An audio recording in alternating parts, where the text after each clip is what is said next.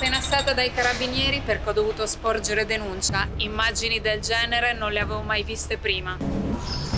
Le immagini sono proprio in questa chiavetta che ci ha consegnato un informatore riguardano due allevamenti intensivi in Emilia-Romagna in piena zona di restrizione per peste suina africana e sono molto forti, vediamole insieme. Topi che camminano sulle gabbie delle scrofe, camminano sulle scrofe fra gli animali nel loro mangime i topi rappresentano un problema enorme per la biosicurezza, possono portare malattie, fra cui la peste suina africana, all'interno dell'allevamento e invece qua sembra una terra di nessuno. E qui un'altra situazione gravissima per la biosicurezza. Ci sono decine di suinetti morti all'aperto che hanno lasciato nella benna del trattore parcheggiato fuori dai capanni, quindi alla mercé di qualunque animale, infatti vediamo eh, che c'è un topo lì che aspetta probabilmente di fare incetta di queste carcasse. Questo è gravissimo per quanto riguarda la biosicurezza, questi suinetti dovrebbero stare in una cella frigo in attesa di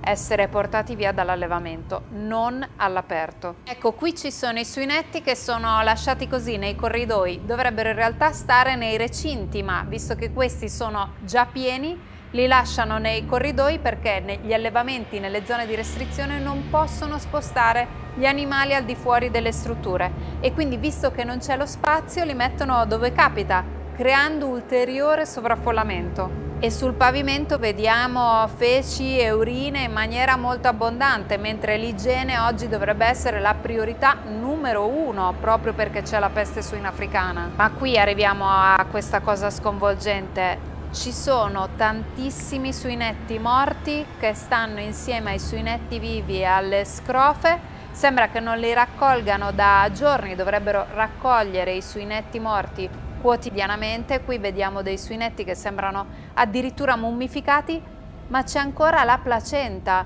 Queste scrofe da giorni che hanno partorito, la placenta è ancora lì, nessuno l'ha raccolta, con i suinetti morti incastrati dentro. È una cosa che io personalmente non avevo mai visto prima. Questa è una cosa veramente sconvolgente. La scrofa ha dovuto partorire in zona di gestazione, quindi non nel luogo solito eh, della gabbia della maternità, nella zona di gestazione, nel corridoio e quindi si vedono questi suinetti lasciati lì. Qua c'è un suinetto vivo incastrato nella griglia che si sta ancora muovendo.